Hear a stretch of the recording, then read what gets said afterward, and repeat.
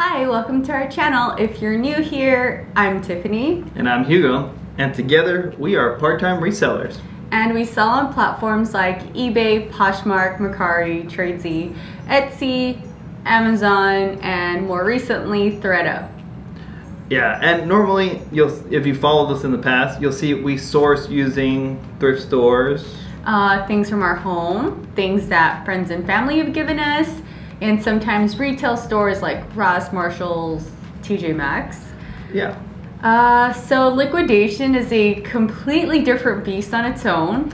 Yeah, it's definitely a scary beast. Uh, we've been exposed to it years ago through YouTube. Uh, but again, scary beast. We didn't jump into it right away. Um, it's a big financial purchase. So we had been holding off, um, especially with our schedule, uh, Yeah. with our other jobs. But currently, during the pandemic, we decided to go for it since we're at home 99% of the time. So, processing a liquidation pallet seems a lot more doable. Uh, so, we just pulled the trigger and we made a big purchase. Oh yeah, like $3,600 big purchase. Stay tuned to see what we got and uh, how we're planning to tackle this beast, of a Beast. pallet. Yeah.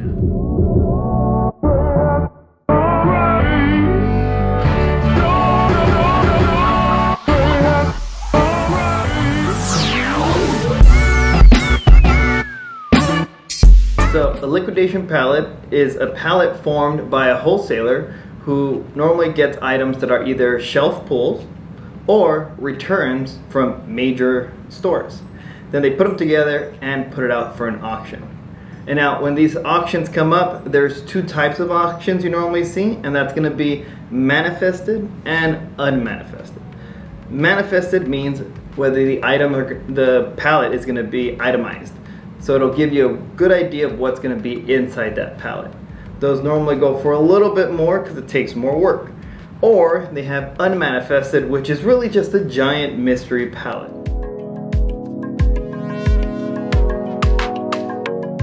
Okay, so why did we choose liquidation? Uh, we are typically used to thrift stores and retail stores, and it's been two years since we've started this journey, and we didn't go the liquidation route.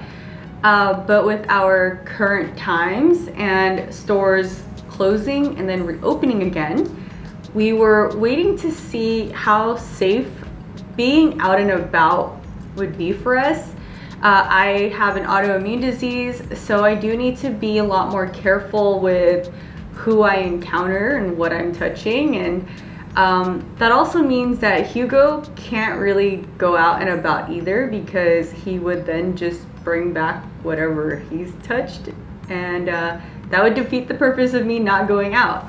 Uh, so, liquidation was something that could solve that problem, and we could order this massive lot of clothes and have it delivered to our doorstep and not actually have to be around other people and be in a crowded store and possibly risk getting sick. So, yeah, liquidation kind of helped us pivot our business and stay afloat during this time.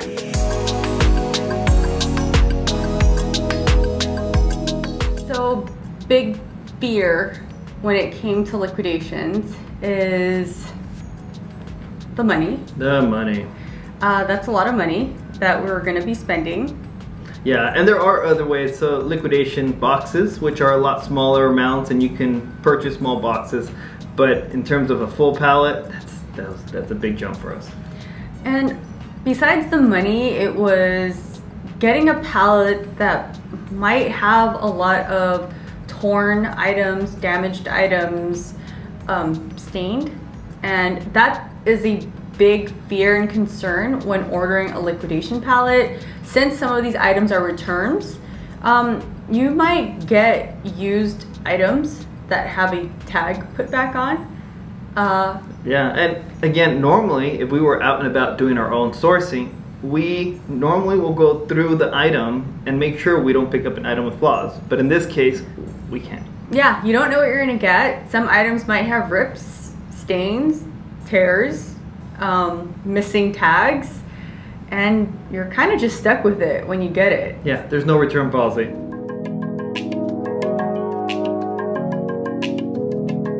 Okay, so liquidation pallet. We Googled a bunch of different companies and we won't disclose our liquidation source, uh, but we did Google and look at reviews and look at their different manifested lots uh, before we made our final decision.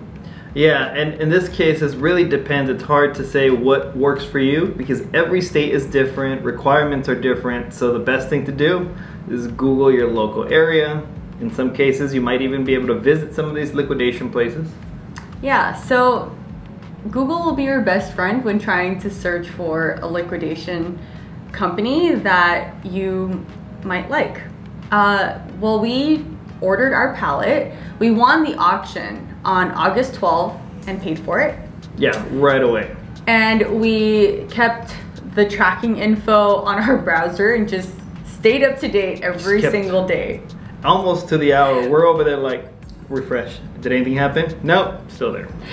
And we got the pallet on August 20 Fifth? Yes. So thir- it took 13 days from the day that we paid for it to it being delivered to our residency, residence, home, Home, home. home. Um, but you do have to keep in mind that because it's a residential property and not a business property where you don't have a dock Or a Uh, forklift. or a forklift, Don't you will have to pay for the lift gate fee. Uh, so when you're paying for your liquidation pallet, just make sure that you are accounting for the price of the pallet plus the shipping plus the lift gate fee. Unless you have a forklift at your house. I mean, that'd be pretty cool. I wouldn't mind having a forklift. I'd go to the post office in it. Um, so in preparation for our pallet delivery, uh, we live in Los Angeles and it's August. It's about 90 to 100 degrees on average. Yeah. And we don't really have an outdoor covering, which is where we were going to process this pallet. Uh, so we went out and we picked up one of those like collapsible tents. Yeah, the ones you take to a park or an event. Yeah, so we picked up one of those, set it up, I think the day of the pallet arrival. Um, and we also picked up some affordable clothing racks from IKEA. Yeah, you know, hanging racks. And we thought it would be a good idea because we had come up with a game plan for the pallet prior to the pallet arriving. Yeah, we wanted to find a way to organize everything so that we can streamline both taking things out of the boxes as well as running through our, you know, inventory system. So we set up these IKEA racks. And um, we got a lot of heavy items. Yeah. Again, And- we knew the brands that were coming in. We didn't know the exact items coming in. And 500 plus pieces is a lot of stuff that I don't think we completely realized what it would look like when it was all hung up. Yeah, uh, again, and you'll see in the videos we got going on here, we prepped and ended up looking like a small swap meet store. yeah. Um. So we got this stuff hung up. Uh, it took us, I think, two and a half hours to process the entire pallet in terms of putting everything in alphabetical order on these racks. On the racks, yeah. Uh, and the first thing we did was call, actually FaceTime our friends Denali and Laura, uh, and their channels are linked below. Well, while on FaceTime, we were showing them the items that we got, We were excited. It was opening up a gift almost. and well, the racks kind of took a tumble. Um, Um, A tumble is it's that's a nice way of saying it. It really Like- just felt like a game. Like, have you played dominoes? You know, when you like tap the little domino and it just. Yeah, so that happened, and as you can see, we got a pile of twisted, cheap clothing racks. So we had bought five, and we are left with two standing racks. Uh, Barely. Yeah, they're a little wobbly, um, but they're there. yeah, they survived. Uh, so our clothes kind of took a tumble, but luckily when we picked them up, they were still in the order that we had processed them in. So that order just got put in the garage in yeah, a big in pile. Big piles, an organized pile. Yeah. Okay, so we decided to alphabetize our inventory from the pallet because we wanted to compare what we got to the manifest that we were provided. Um, since this is our first pallet, we just wanted to see how accurate the information from this vendor was in comparison to what we actually received. Yeah, and there were some discrepancies while going through it, which is again why it was so helpful to have things in order so we can check it according to the manifest and make sure we got what we were hoping for.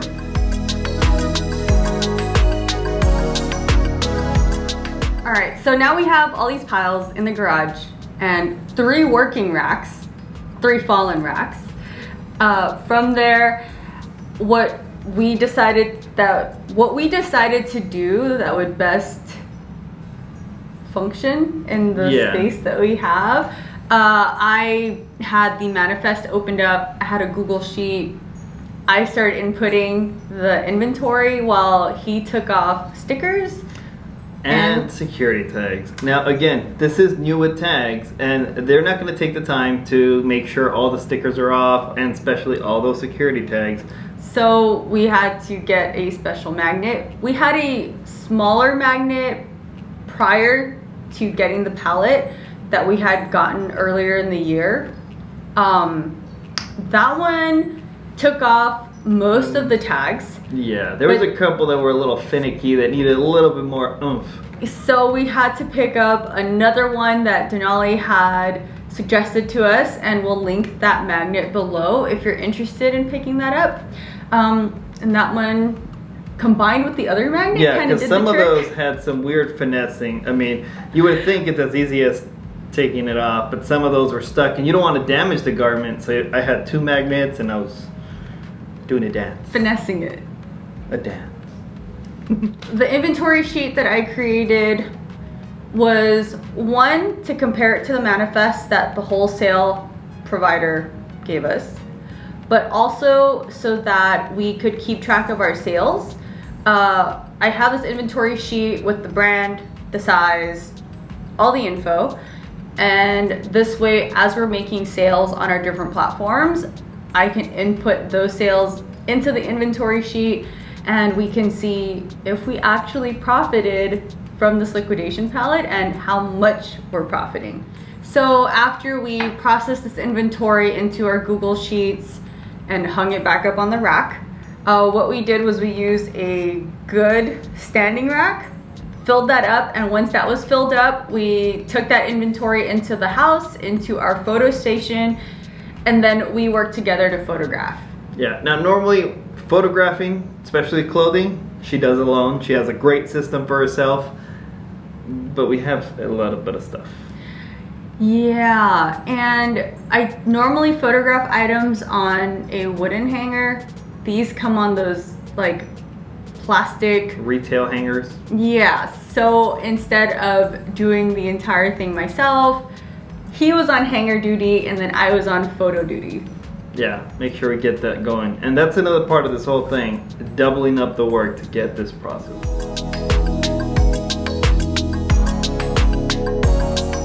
Now, how about some highlights from those 500 plus items we got?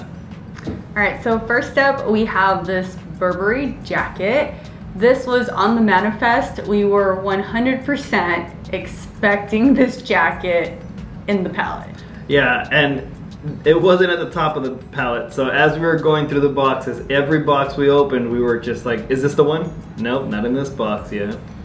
All right, next up we have a Tadashi Shoji dress, which was not on the manifest, uh, but this really pretty lace formal dress. Uh, Hudson jeans, also not manifested. Yeah. And then we got also Kate Spade dress. Real nice dress. Yeah, this really pretty black dress uh, that could be worn for any occasion. Uh, we did get a few Eileen pieces. I think this one was my favorite Eileen cardigan. I think this one was like a wool blend or a merino wool blend, uh, but just a really pretty long cardigan. Rag and Bone. This coat is super cool because it's reversible. Uh, when we got this, I did not know what it was because the tag was hidden inside the pocket since it's reversible. Uh, but the coat is in perfect condition and comes with the belt, also reversible.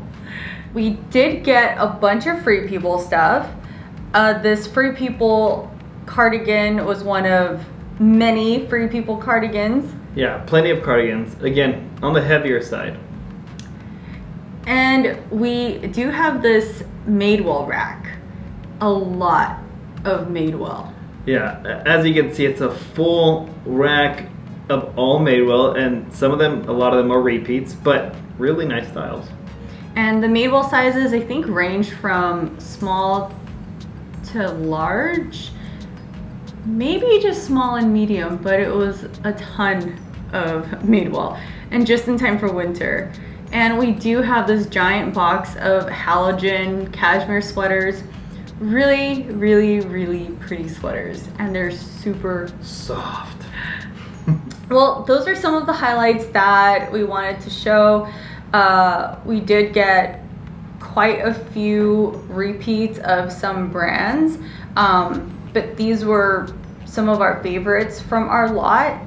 And we have been working Extra. I mean, it, it, we've been on a tight schedule, daily photos and listing so and repeat. Yes, a lot of that. Uh, but here are all the bins that we have finished photographing. Uh, the bins range in the amount of pieces because a lot of these are thicker sweaters. But we did photograph a decent amount of items in the last few days. Yeah. So And what did help is again there was a multi quantity, so we did get an opportunity of taking a picture of one item, but there's like you know eight or ten of them.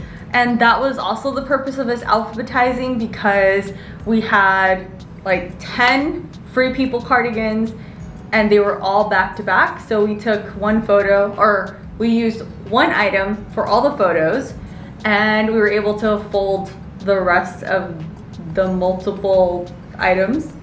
Instead of looking for them, we have them all in the same bin. So would you pick up another liquidation pallet? Uh, after this experience, and I mean we had some bumps in the road. I'm gonna say yes.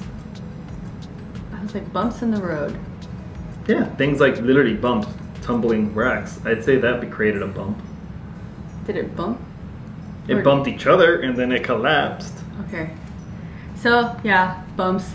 We had some, but all in all, I thoroughly enjoyed processing this liquidation pallet, mainly because I got to organize things.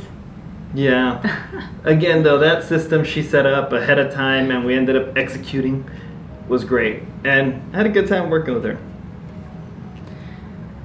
Yeah, we're stuck even more together now. Because the amount of work, it takes two people at least. Um, so kudos to anyone that does this by themselves because a liquidation pallet is a lot of work. Yeah. a lot. Um, but I really do enjoy having the pallet delivered to our door and having a bunch of new tags items. Um, Yeah. I mean, it was a great experience. It, again, takes work. But I'm looking forward to doing this again. me too. And also curious, if you're watching this and if you've done liquidation, you know, share your experience in the comments. If you're curious about it, share your fears or concerns. Yeah, and uh, if you enjoyed this video, please give us a thumbs up and hit that subscribe button for more videos to come. And we will see you later. Bye bye